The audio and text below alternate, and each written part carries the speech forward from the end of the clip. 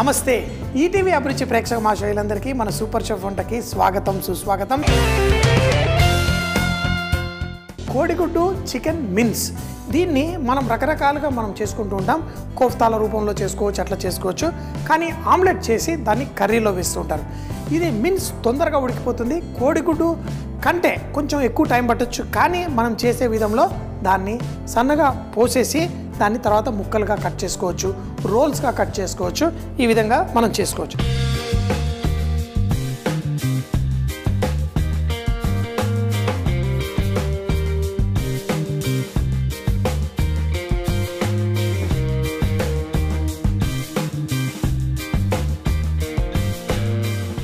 మనం కోడిగుడ్లని ఒక బౌల్లో వేసుకుందాం. కోడిగుడ్డుతో పాటు మనం చికెన్ కీమా. చికెన్ కీమా మనం తీసుకొని దీన్ని ఈ కోడిగుడ్డుతో పాటు స్లోగా ఈ విధంగా మనం కలుపుకోవాలి. మంచిగా కలిసిన తర్వాతే మిగతా కోడిగుడ్లు వేద్దాం. ఎందుకంటే మనకి చికెన్ లేకపోతే అది ఉండలు ఉండలుగా మిగిలిపోతుంది. ఇప్పుడు చూడండి స్లోగా ఈ విధంగా మంచిగా కలిపేసుకుంటే ఇది పర్ఫెక్ట్గా మనకి ఇందులో కలుస్తుంది. ఇప్పుడు చూడండి ఇది మంచిగా కలిసిపోయింది. ఈ విధంగా కలిసిన తర్వాత ఇంకా కోడిగుడ్డు. ఇలా ఒక్కొక్కటి ఒక్కొక్కటి వేసుకుంటూ నాలుగు కోడిగుడ్లు వేస్తాను. వేసి వీటిని బీట్ చేసుకుందాం. ఇందులో కొంచెం పసుపు అలాగే కొంచెం మిరియాల పొడి. అయితే మిరియాల పొడి పసుపులో ఉన్న గొప్పతనం ఏంటంటే మనకి ఫిష్లో కానీ మన కోడిగుడ్లో దేంట్లో అయినా కొంచెం అంత నీచు వాసన కనుక ఉంటే అది తీసేస్తుంది. అందుకని పసుపుని ఈ విధంగా వేసాను. అలాగే ఇందులో ఉప్పు కూడా వేసేటప్పుడు కొంచెం పైనుంచి వేయండి లైట్గా పడాలి. పడిన తర్వాత మళ్ళీ కలపండి. మరి కొంచెం ఉప్పు పైనుంచి మొత్తం వేయండి.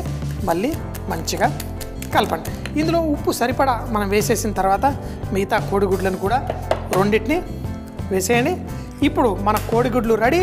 మన చికెన్ కీమా అందులో మంచిగా కలిసిపోయింది. ఈ మిక్స్చర్ తోటి మనం ఫోల్డెడ్ ఆమ్లెట్లా వేసుకోవచ్చు కేక్లా తయారు స్టీమర్లో వేసి చేసుకోవచ్చు.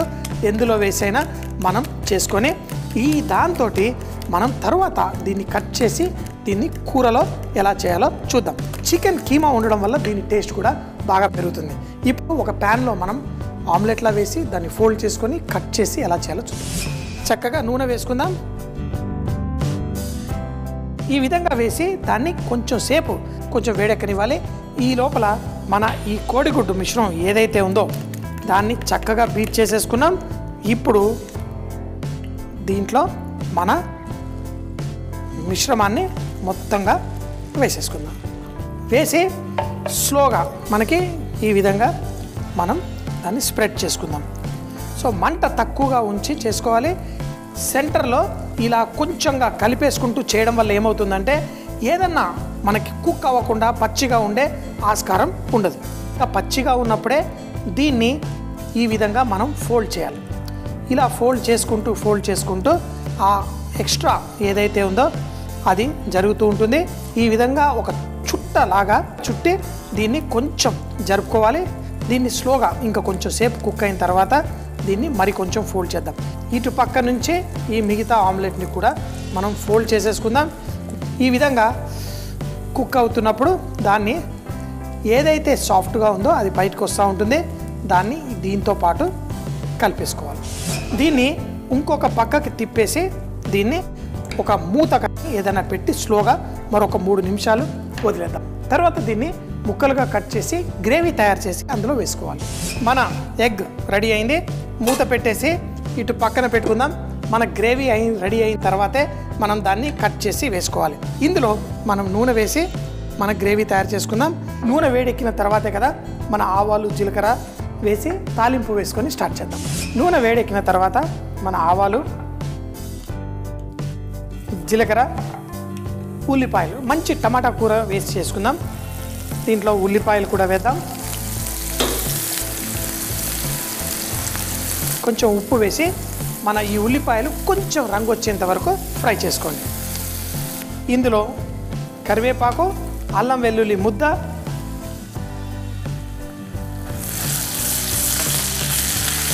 పర్ఫెక్ట్గా అయిన తర్వాత ఇందులో మనం టమాటాలు మసాలాలు కూడా వేసుకొని మన గ్రేవీ తయారు చేసుకుందాం. ఈ టమాటాలతో పాటు కారపొడి ధనియాల పొడి జీలకర్ర పొడి అన్నీ వేసి ఇందులో మీరు చికెన్ మసాలా వేసుకుంటే చాలా బాగుంటుంది. చికెన్ మసాలా మనం చేసుకుంటుంది చికెన్ మీన్స్ ఎట్లాగో ఉంది కదా? దీంట్లో చికెన్ మసాలా కూడా వేసేసి దీన్ని ముందు ఈ టమాటాలు సాఫ్ట్గా కుక్ అవనివ్వాలి తర్వాత దీన్ని మంచి గ్రేవీ లాగా నీళ్ళు పోసి మనం చేసుకోవచ్చు. ఇలాంటి చేసేటప్పుడు గ్రేవీ రావడం కోసం జీడిపప్పు పొడి అలాంటిది కొంచెం జల్లుతాను నేను ఇప్పుడు. మంచి గ్రేవీ పర్ఫెక్ట్గా వస్తుంది. మన మసాలాలు అన్నీ చక్కగా వేగి పర్ఫెక్ట్గా ఉంది. దీంట్లో కొంచెం జీడిపప్పు పొడి. దీన్ని కూడా అంటే పచ్చిగా కాదు వేసి ఒక రెండు మూడు నిమిషాల పాటు దీన్ని కుక్ చేసుకోండి. ఏమవుతుందంటే ఆ పచ్చిదనం పోయి మనకి పర్ఫెక్ట్గా మంచిగా తయారవుతుంది. ఇందులో ఇప్పుడు నీళ్ళు పోసుకొని మనం గ్రేవీ తయారు చేసుకుందాం. ఈ స్లోగా కొంచెం సేపు కుక్ చేసుకుందాం. ఆ గ్రేవీ రెడీ అయిన తర్వాత మనం ఆ కోడిగుడ్డు చికెన్ ఆ కీమాతో చేసిన ఆ మంచి ఆమ్లెట్ని ముక్కలుగా కట్ చేసుకొని ఇంట్లో వేసుకుందాం. మన చికెన్ కీమా ఆమ్లెట్ రెడీ. దీన్ని మనకు కావలసిన సైజులో చూడండి. ఈ విధంగా ముక్కలు కట్ చేసుకోవచ్చు. కొంచెం పెద్దగా అనిపిస్తే వీటిని ఇలా రెండు సైజు ముక్కలు కూడా మనం కట్ చేసుకోవచ్చు. మీకు కావలసిన సైజుల్లో మీరు కట్ చేయండి ఈ కూరలో వేసేసుకుందాం. తర్వాత ఈ గ్రేవీ కొంచెం మనకు కావాల్సిన కన్సిస్టెన్సీ రాగానే వేసేసుకుందాం. దీంట్లో ఉప్పు మనం అడ్జస్ట్ చేసేసుకుందాం. మన ఈ ముక్కల్ని కూడా ఇందులో వేసేసుకుందాం. మనకి మంచి రుచి టేస్ట్ అంత పర్ఫెక్ట్ కోడిగుడ్డులో ఉన్న నీచు వాసన కూడా లేదు ఎంతో పర్ఫెక్ట్ దీంట్లో లాస్ట్లో మన కొత్తిమీర మరొక్కసారి ఉప్పు. ఇప్పుడు కర్రీ కూడా పర్ఫెక్ట్గా రెడీ అయిపోయింది. ఇంకేంటి ఆలస్యం? పర్ఫెక్ట్గా ఉంది కదా? దీన్ని అన్నంతో పాటు వడ్డించుకున్నా దేంతో వడ్డించుకున్నా రొట్టెలతో బాగుంటుంది. మన పుల్కాలు రుమాలి రోటి దేంతో తిన్నా అద్భుతంగా ఉంటుంది. ఆహా! కొంచెం సేపు మగ్గిన తర్వాత ఇప్పుడు చూడండి మీకు తెలుస్తుంది. మనం ఆ చేసిన కష్టానికి మన గ్రేవీ ఎంత పర్ఫెక్ట్గా ఎంత చక్కగా ఉందో. దీన్ని మనం జాగ్రత్తగా ఏదైతే బౌల్లో వడ్డించాలనుకున్నామో ఈ విధంగా అంతా పర్ఫెక్ట్ చూడండి మనకి ముక్కలు కూడా ఎంత బాగున్నాయో. అయితే పన్నీర్ ముక్కలు అవే కాదు చికెన్ కూడా ఇంత చక్కగా ఎగ్తో పాటు మనం కాంబినేషన్ చేసుకోండి చాలా బాగుంటుంది. కానీ ఇందులో ట్రిక్ ఒకటే మిశ్రమం బీట్ చేసినప్పుడు అందులో మిరియాలు పసుపు తప్పకుండా వేయండి. అప్పుడు టేస్ట్ చాలా బాగుంటుంది.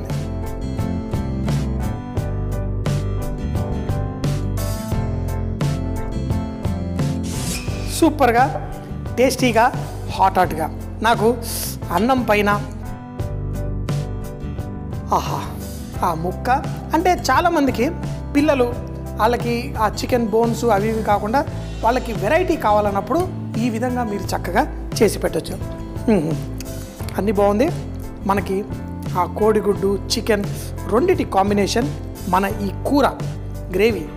ఎంతో వేడిగా చెయ్యి కాలిపోతున్నా దాంట్లో వచ్చే సువాసన. మనం మంచి గరం మసాలా చికెన్ మసాలా అన్నీ వేసాం. దాన్ని ఆహా. పర్ఫెక్ట్.